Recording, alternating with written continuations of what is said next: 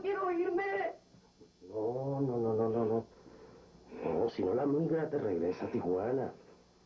¿Eh? Y no te voy a poder conseguir los documentos y eso es lo que voy a hacer. ¿Eh? Y luego haces lo que a ti te plazca. ¿Eh? Aquí en San Diego, everybody speaking English. Y tú no. Aquí es como el infierno para el que no sabe. ¿Eh? Pero te cuido yo.